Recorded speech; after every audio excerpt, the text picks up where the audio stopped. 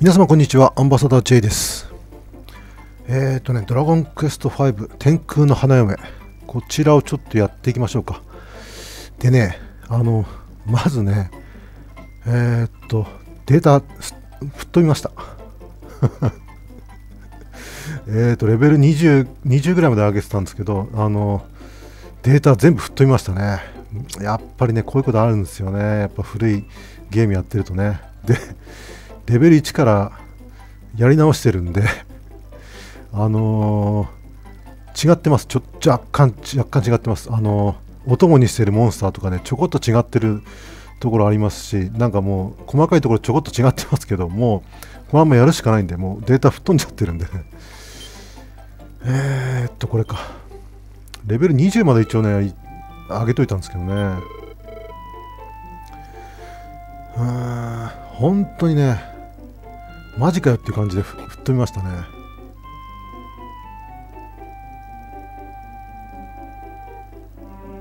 であのレベル1からねやってたんですけどあのえっ、ー、と何でしたっけあのプックル。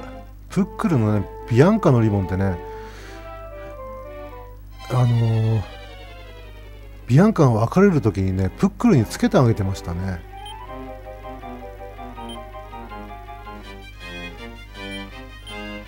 プックルにつけてあげてたんだけどあの不思議なことにねあのななんていうのかな。あの装備品の中には出てこないんですよ。装備品のもの方には出てこなくてで全くそのなんていうのかな影影も影も形もなくなっちゃってるような感じでしたねあのビアンカのリボンは。それがあのプックルと別れた時に道具としてだけなんかこう戻ってきてるっていうちょっと すごい設定みたいな感じになってましたね。まあそれはちょっと気づかないなっていう感じだったけど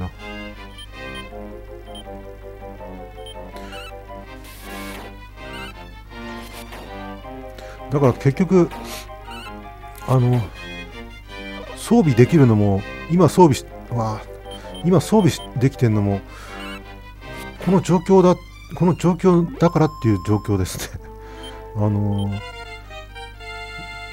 別れる前の時には装備のところに全く出てきませんからね。道具欄とかにも出てこないし。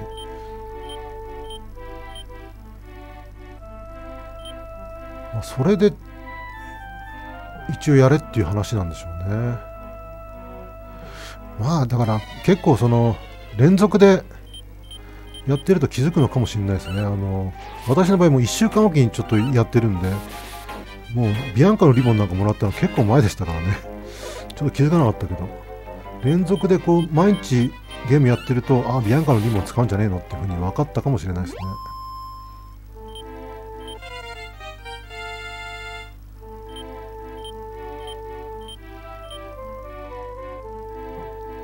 で今言ってるのがそのあの例の、ま、魔法使いかなんかの魔法を研究してるおじいさんからなんか取ってきてくれって言われてる。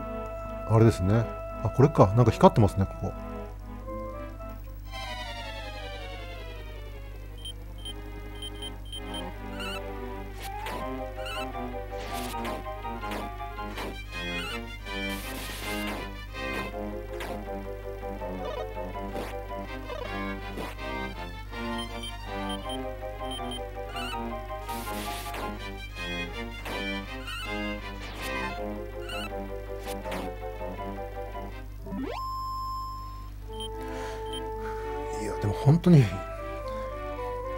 消えるもんなんだなっていう。あれ？ハラムーンん？あ違う。ルラムーン層か。ルラムーン層を見つけた。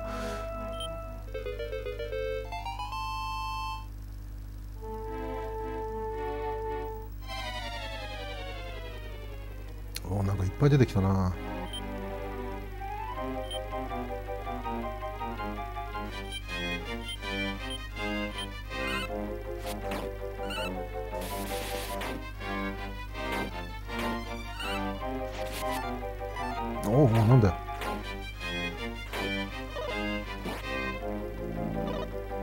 気をなくしたってなんだちょっと待ってよ。寝ているのか。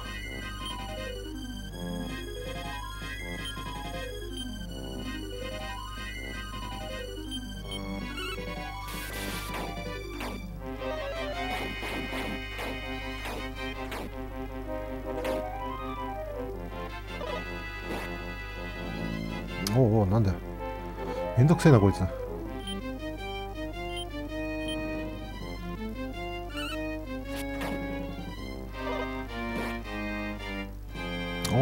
どんどん出てくんなこいつでもしかも意を聞かねえからな。めんどくせえな。あ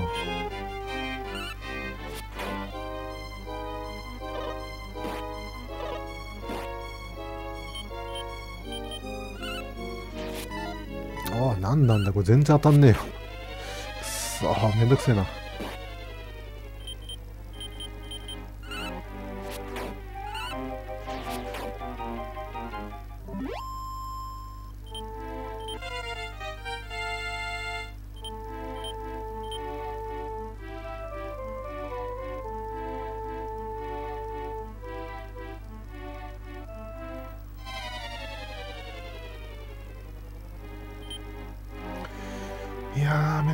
たいっぱい出てきたね。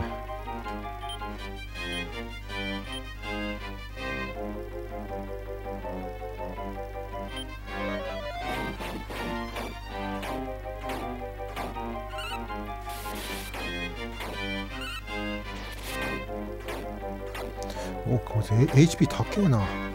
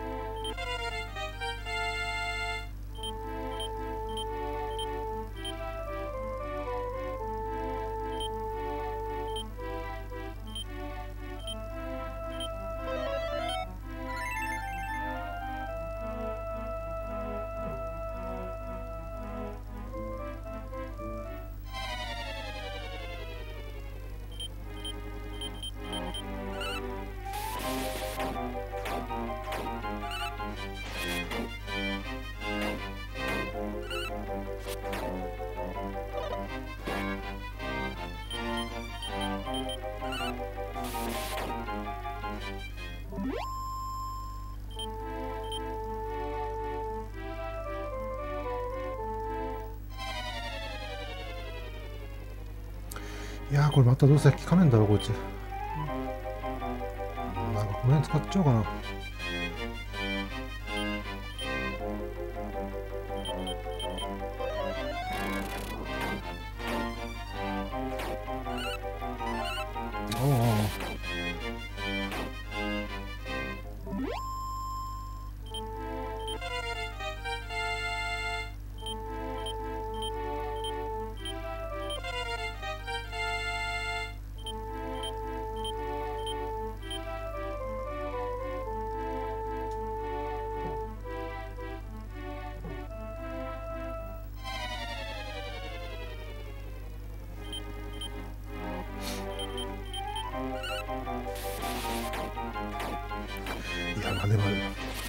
まだドラクエデータ飛んだのドラクエ5だったらよかったけど今やってるあのスーパードンキーコングあれデータ飛んだらもう嫌だな俺。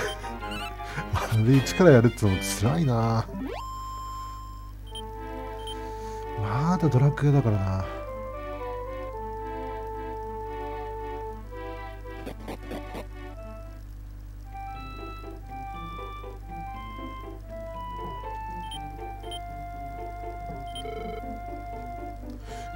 活の呪文とかもあれも結局ね復活の呪文間違っちゃうとダメだっていうのはありましたけどあの場合はねその前の呪文まで遡ればいいっていうのがありましたけどね。データが全て消えるってなるとね レベル1からやり直さないといけないからな。ほんと大変だよな。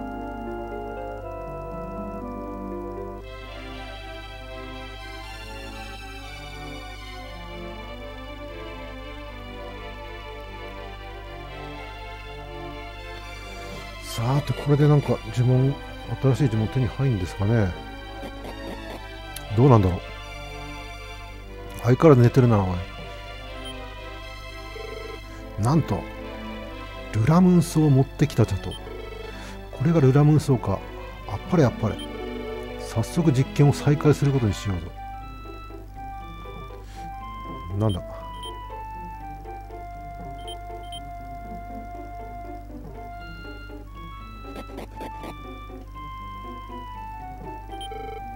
えい話しかけるでない。よし今じゃここでルラムンソウをなんか燃やしてるようにしか見えねえなこれ。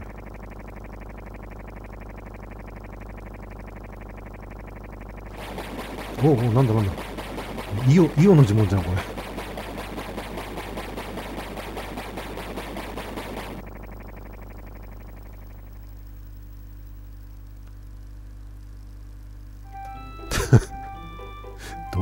どういうことだよこれ。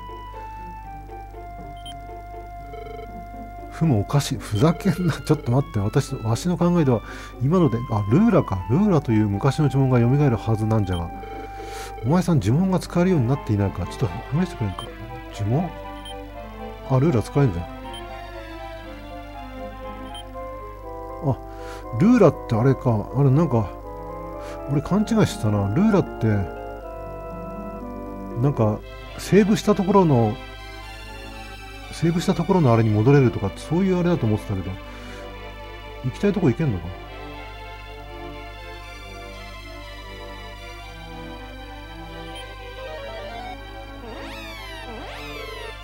おうおうやったぞやったぞ。よしこの調子で次の呪文に挑戦することにしようぞ。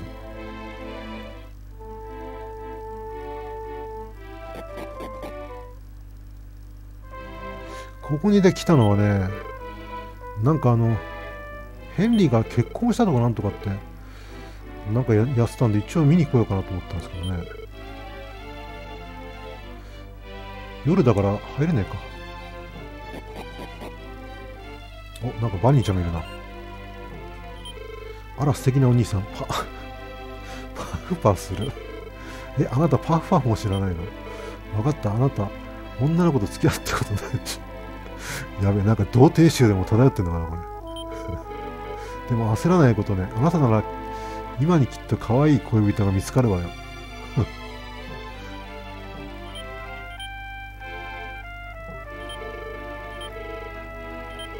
同じか。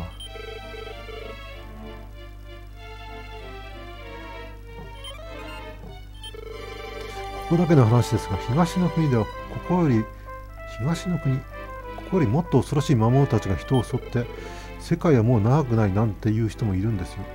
こっから東ってどこだ？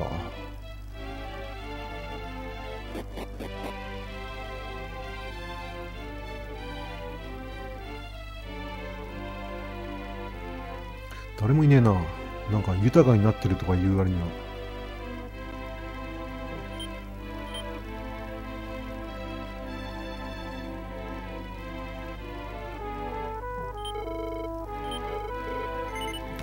まあいいや朝にしよう。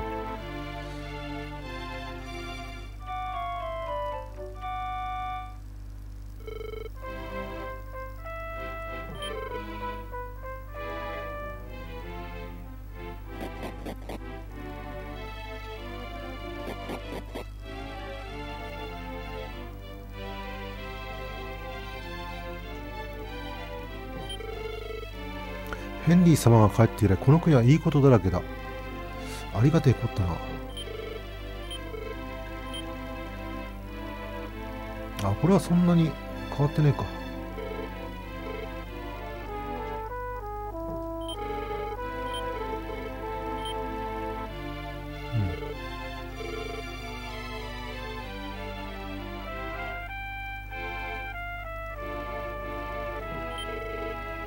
ヘンリー様の奥さんは本当にお優しい人じゃ。わしもああいう人と結婚したかったな。もう遅いけど。結局誰と結婚したんだな。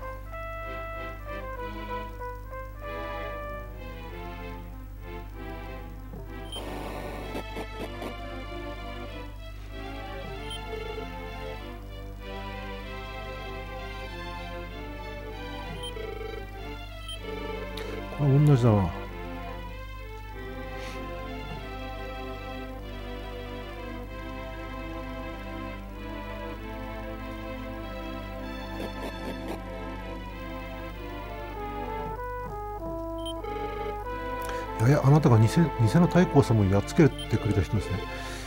あ、これ前に聞いたか。本当にもうヘンリー様は奥、ヘンリー様と奥様は仲良くて、独り者には目の毒だな。わははは。あの事件以来太閤様もすっかりおとなしくなって頼り投げに思えたデール様ですが今では本当に立派な王におなりですあこのおじいさんいたな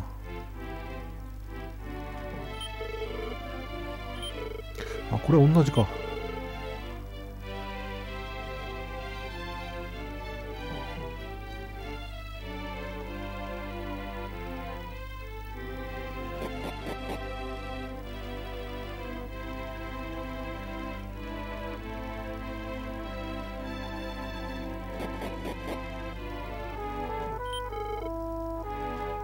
これもなんか握ってそうな気するんだけどな。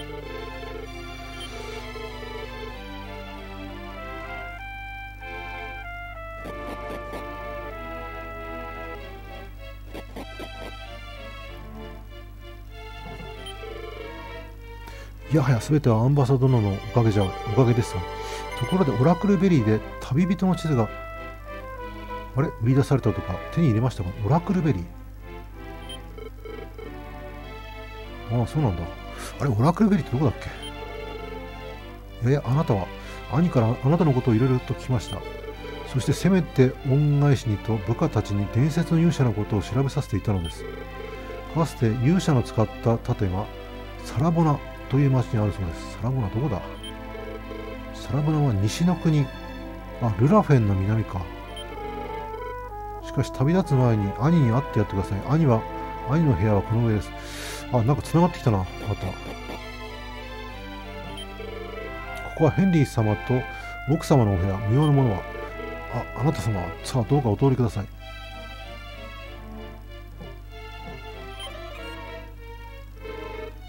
こいつは驚いたアンバサじゃないか。ずいぶんお前のことを探したんだって。ぜ。うん、その結婚式に来てもらおうって思ってな。実は俺結婚したんだよ。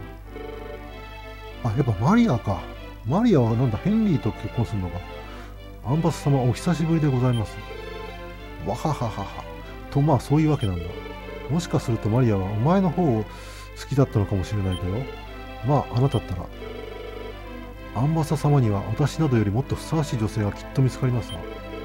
とにかくアンバサに会えて本当によかった。ゆっくりしていってくれよな。あ、これ、あ、やっぱそっか、マリアか。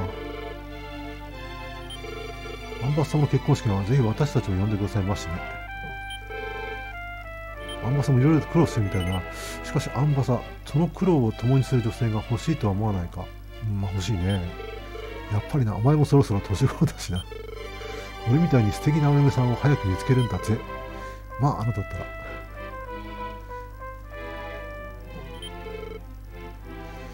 さて、じゃあ、ルーラ、じゃねえや、オラクルベリーっていうな。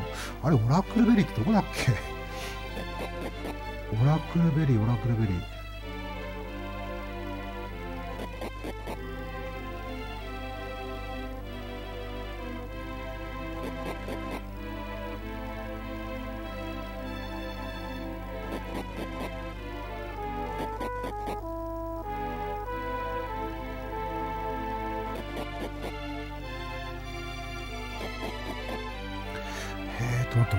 ベリー。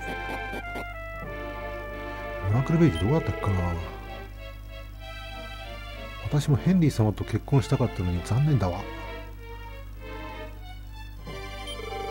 ヘンリー様にあんなに可愛いお嫁さんが来てくれたなんて、もう私は嬉しくって。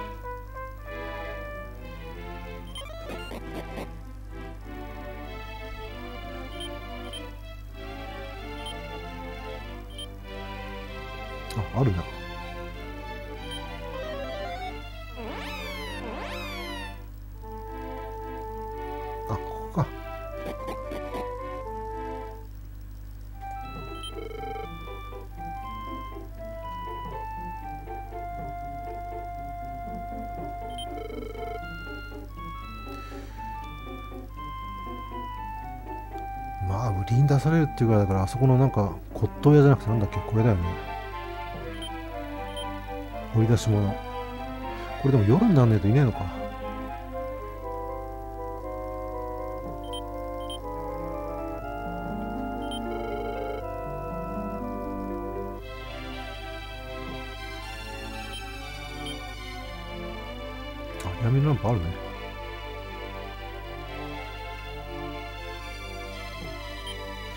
使えるのかな？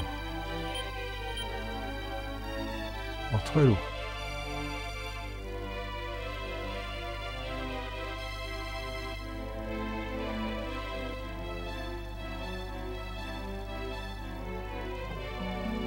あれ？あれ？進まねえ。なんだこれ？あれ？どうして？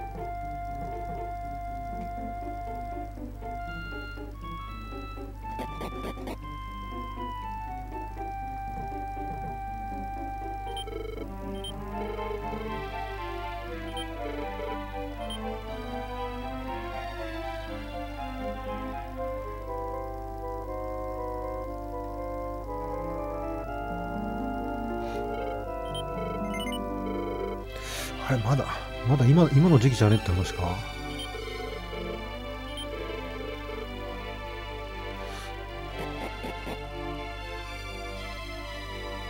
じゃないといけねえっておかしいもんな。あいけた。あれ？俺なんでさっきいけなかったんだ変なバグってたのかな？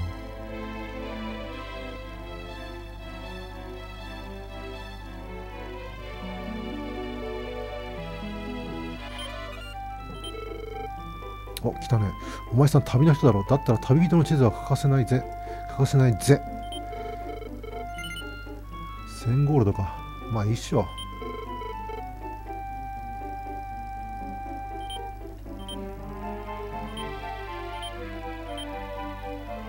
これ何に使うんだろう？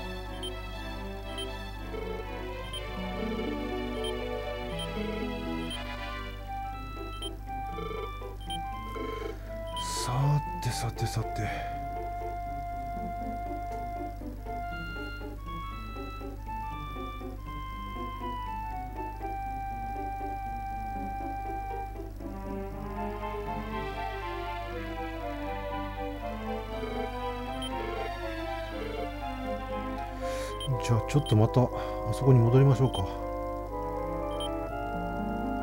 ブラフェン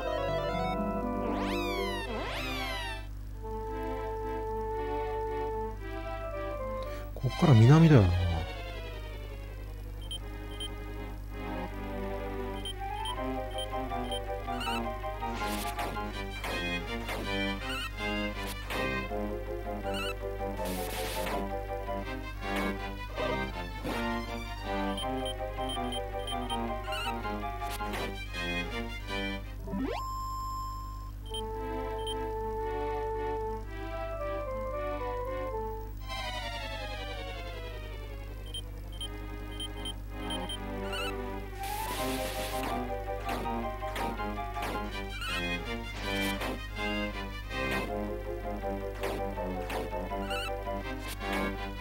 かしねまあ東京もね開花宣言とかなんかもう出る出ないとかっていう話するぐらいですからかなり今年早いですよね今年ね。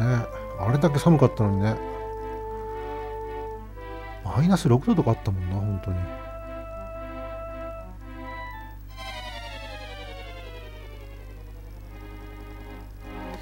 いやーめんどくせえのまた来たないっぱい。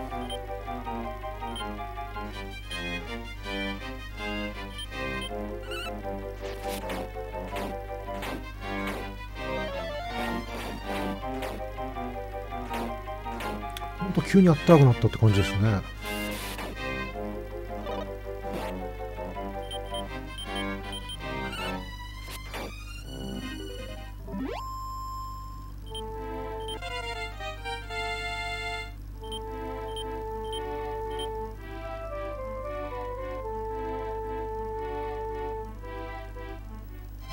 なんかあるな。おなんだか強そうな魔術師が出てきたな。グレゴール。こ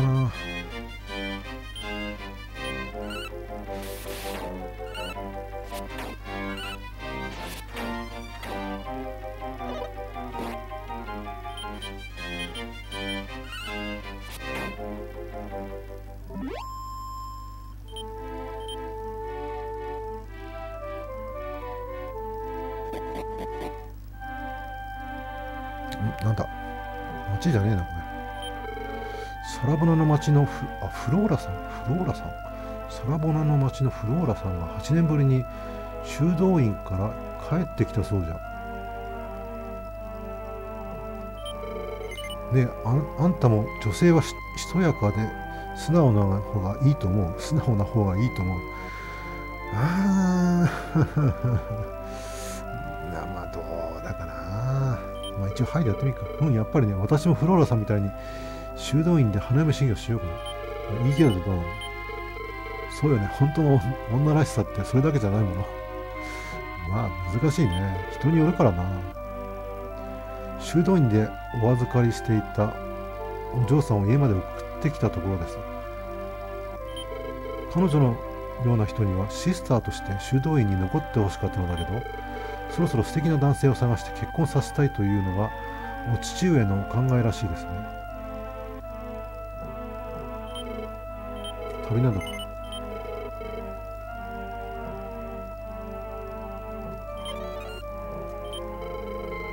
あんたまさか噂を聞いてフローラさんと結婚したいなんて思ったんじゃないだろうね。でもあれほどの娘さんだ。相手にもされないと思うよ。ここからずっと南に行って橋を渡ればサラボナの町ですよ。南に行って橋を渡るのか。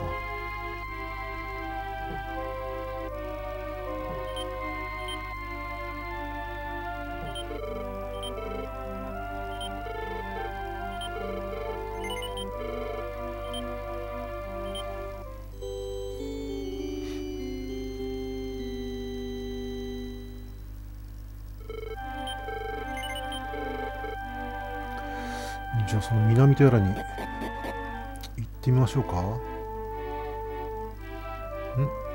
なん何何？橋なんかないじゃん。これ洞窟入るってことか？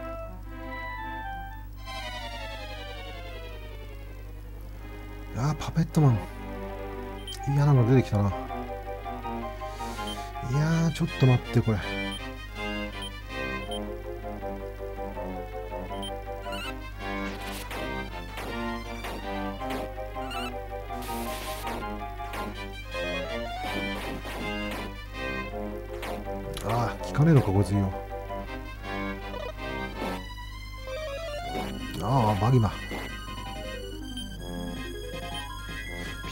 なんか魔法耐性あるみたいですね、これね。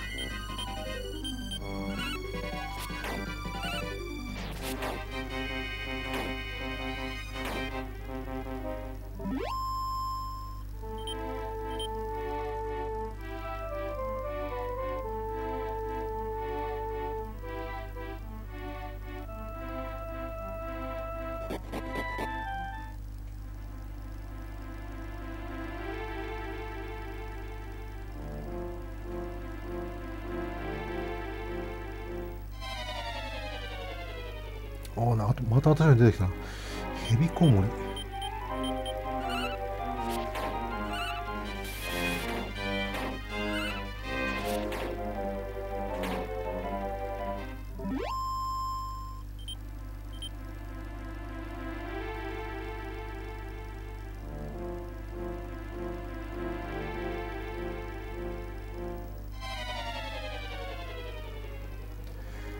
いやー、まためんどくせえの来たね。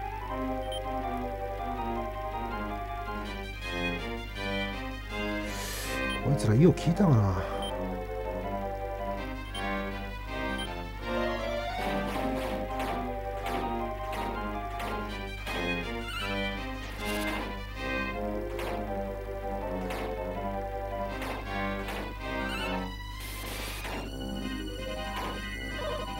ああ、残っちゃった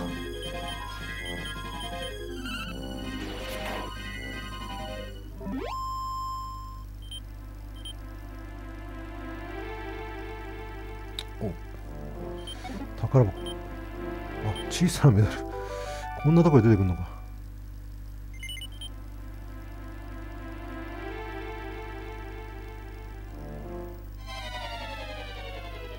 おおまたいっぱい出てきたなおい。さあどうしますこれ。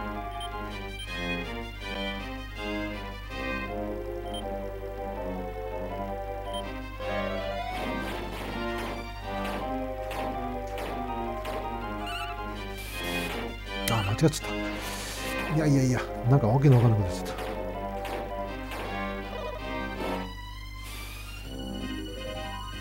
ああ嫌だなこれ。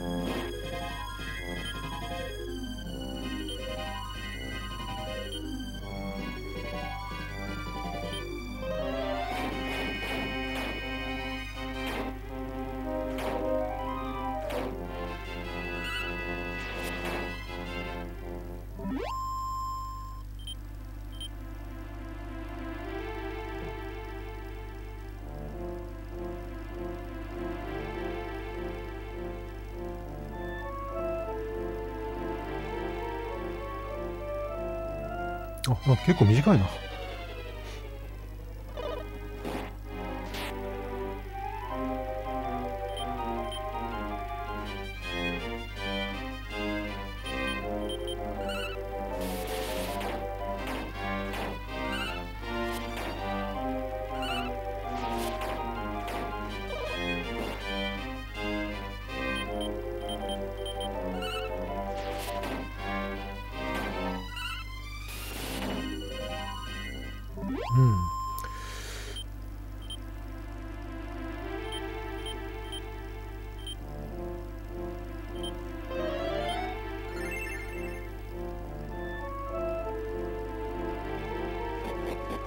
のドラキンがね結構あのえっ、ー、となんだっけ。あのムチ系ムチ系みたいなやつチェーンクロス使えるんでね。あら。結構重宝するんですよね。うわメタルハンターとか強そうだなまたこれ。多分こいつ魔法効かないんだろうな。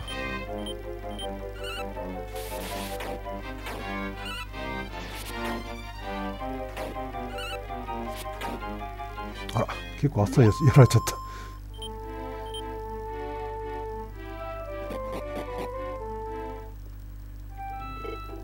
た。ワンワン。誰かお願いです。その犬を捕まえてください。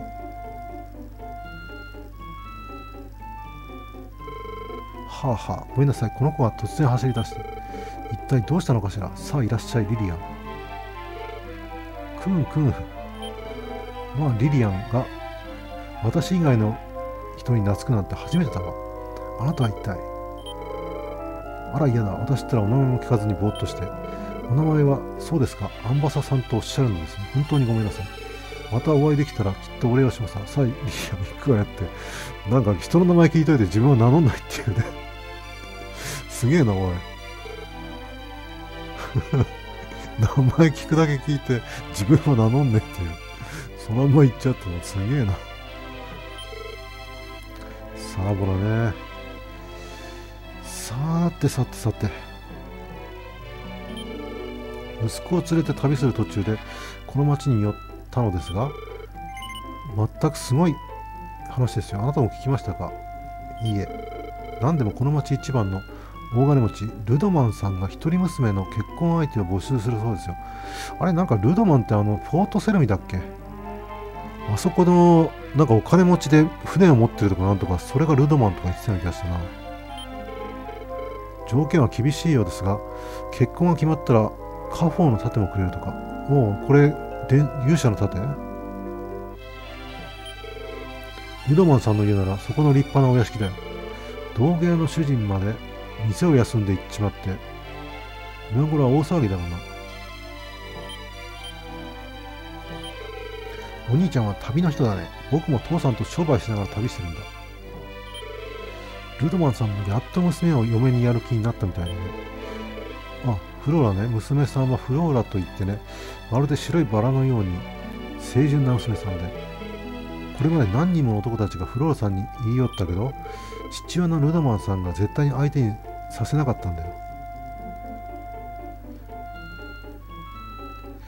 これ何もねえな、この辺。こはやってんの？これ何？防具屋か。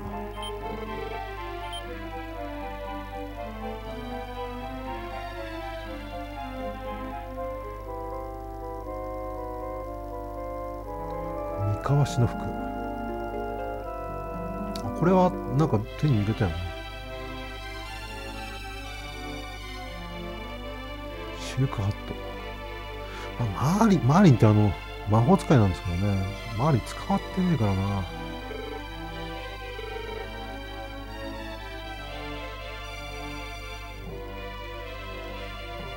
魔法使いってあのあれねあのモンスターの魔法使いね。女房はああ言っとるが結婚ばっかりは神様の巡り合わせだからの。いや旅の人だね。うちの息子のアンディ。アンディもあんたくらいの年頃でね。アンディマーなんつってね。早いとこ花嫁を見つけなきゃ安心できやしないよ。あんたもういい人がいるのか？いいえ。うわそうかい。それじゃああんたもそろそろ探さないと。可愛い娘にキャーキャー言われるのは今のうちだよ。キャーキャーなんて言われてねえんだけどなこの 主人公。奴隷奴隷で奴隷になってたぐらいだからな。あ小さなメダルほんと苦労人だよな。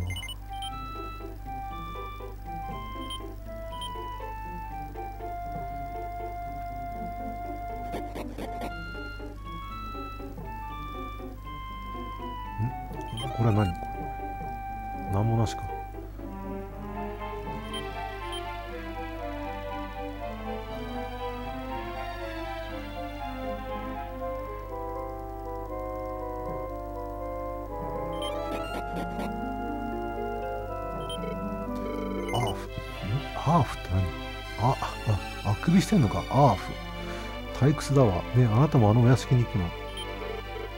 あら今日の騒ぎを知らないの。若い男がみんなルナマさんの家に行ったの。でもああなたはお金が目当てっていう感じじゃないわね。ああちょっと待ってよ。いらっしゃいませ。ご覧の通り空いてますからゆっくり飲んでってください。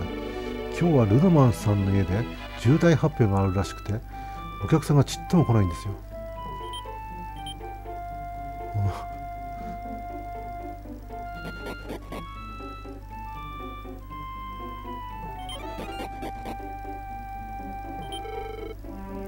おはよう月でうちの宿は飯もベッドも最高だよ。一晩たったの45ドル。ド 安いね。一晩たったの45ドル。ドお泊まりになりますね。いいえ。もう無理もしすぎて死んでも知らないよ。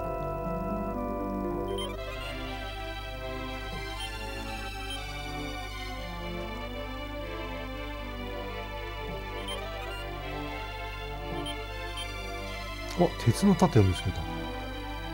えー、鉄の盾。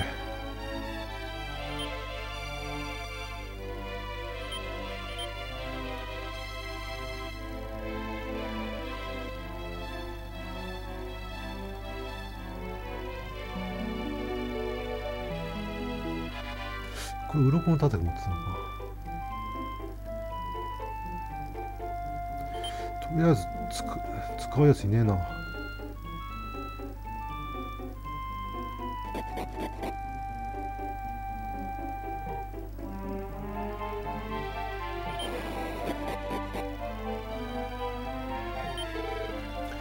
婚とは神様も見守る神聖な儀式。心から好きな相手とならきっと神様の祝福を得られることでしょう。とりあえずちょっとルドマンの家行ってみますか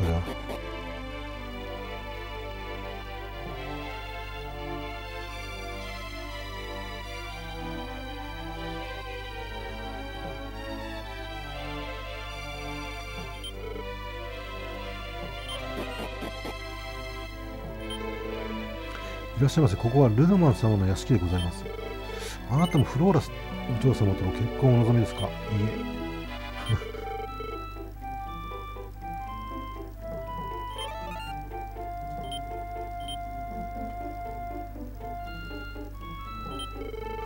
え。いや、あなたもフローラと結婚したくて。僕はアンディ。あ、これがアンディか。アンディ・マーなんですね。彼女と話になるんですよ僕はお金も宝も欲しくありませんが 彼女は妻になってくれるなら。フローラさんと結婚できるなんてまるで夢のようだな。でもどんな条件が出されるんだろう。いやいやあなたもちょうどいい時にこの町を訪れましたね。でもフローラさんと出したのは私がいただきますよ。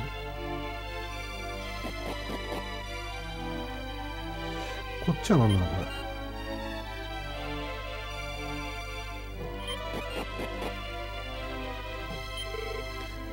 別荘か。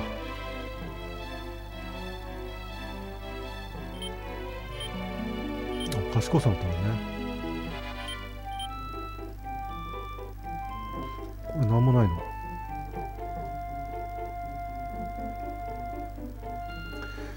じゃあちょっと。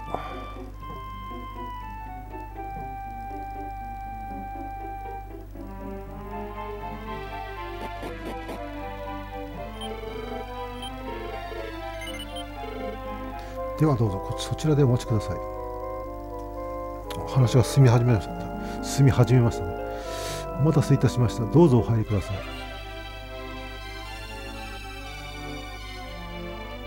あら勝手にちょっと。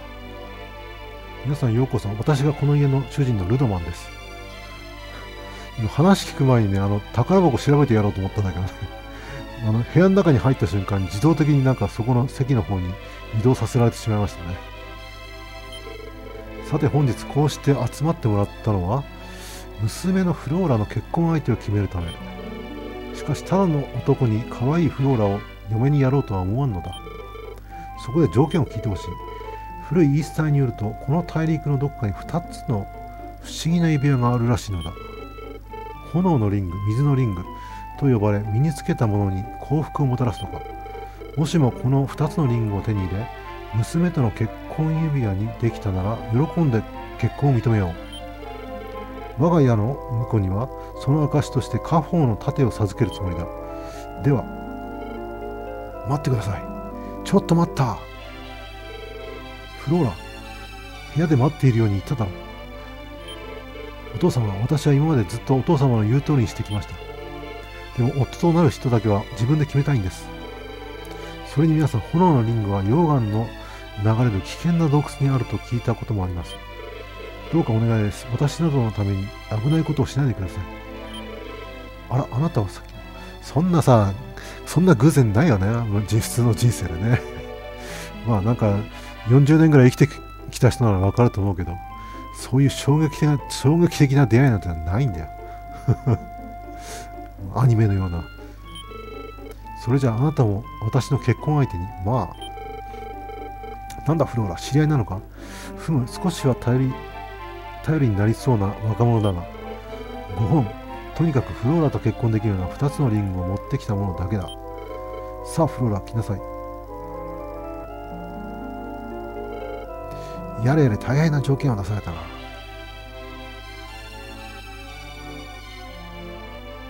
動けねえあれ動けねえな。あ動いた。この宝は何？鍵がかかっている。それは当然だ。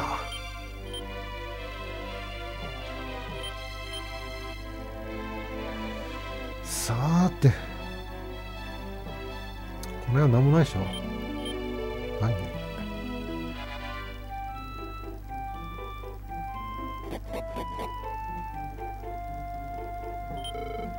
ん？なんだ？まだいたのか。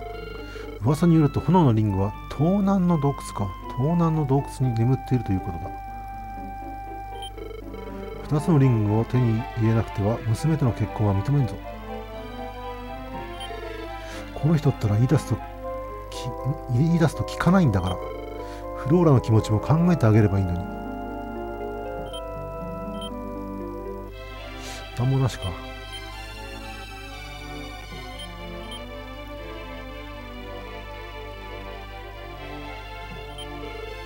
私の父は昔から強引なんです。あなたも危ないことをしないでくださいね。2つのリングなんてなくたって2つのリングなんてなくたって私。もうなんか意味深だなお銀の髪飾り。これでも今つけられるやついねえんだよな。っていうかただのただのコソ泥になっちゃってんだこれ本当に。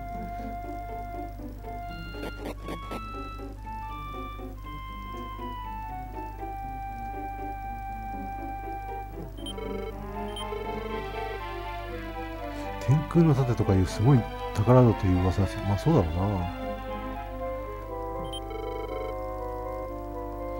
これ武器屋か。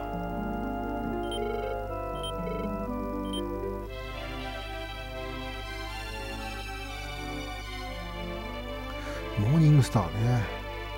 あガンドフつけられるのか。覇者の剣。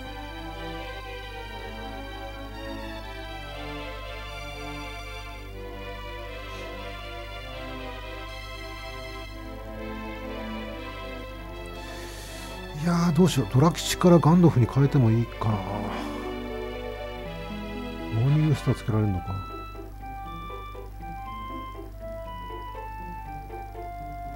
まあとりあえずこれピエールのやつ買ってやるか。道具として使っても効力があるぜ。何な何つ何なんだろうな。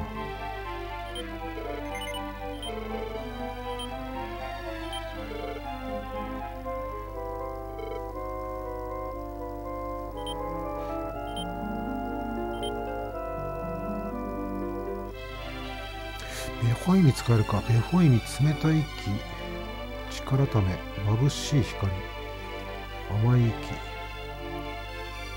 ドラ吉はマヌーサラリホか。いやーあああ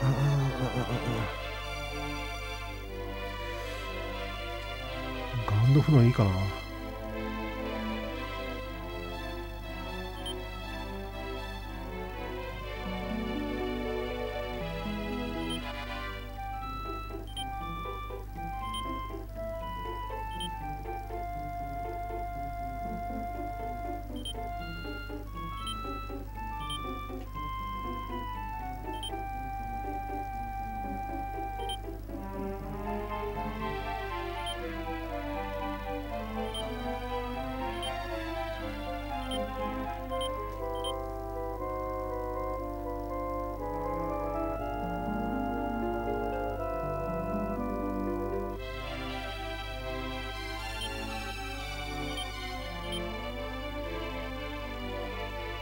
ごいできないね。となるとやっぱこっちか。あ装備できねえじゃん。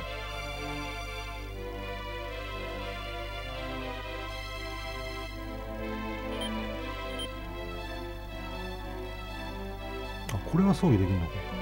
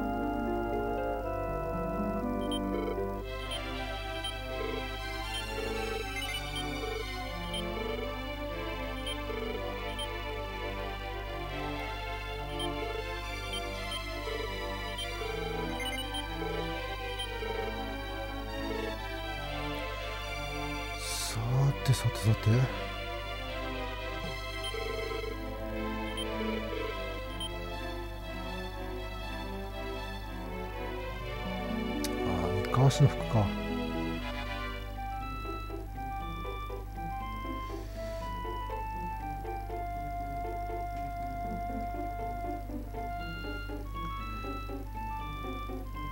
まあ買いますかちょっと。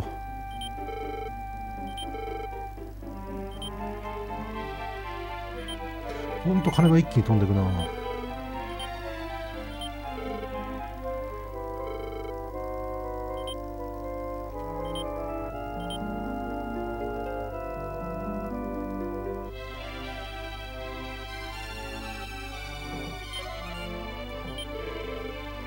ちは女房が店を切り盛りしているので私が家事をやってるんです。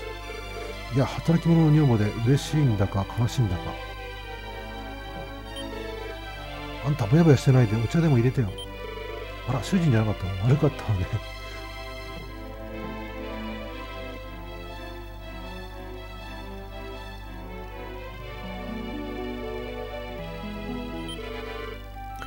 道具やね。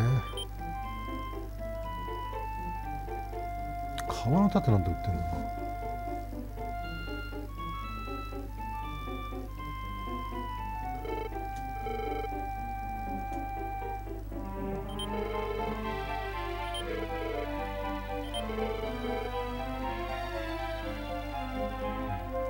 まあ、とりあえず今回この辺りにしましょうか、ちょっと。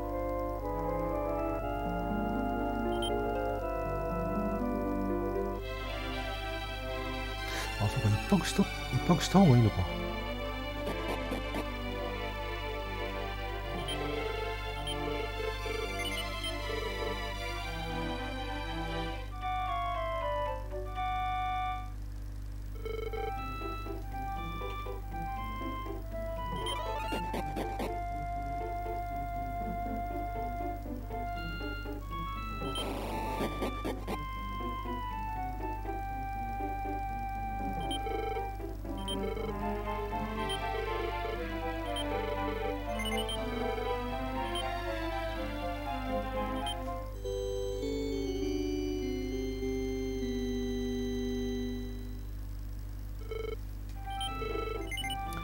よし、まあ、とりあえず今回はこの辺りにしたいと思います。次はだから東南、東南の洞窟だっけ？なんか、炎のリングをちょっと取りに行くような感じでしょうね。今回はこの辺りにしたいと思います。それでは皆様次回の動画でまたお会いしましょう。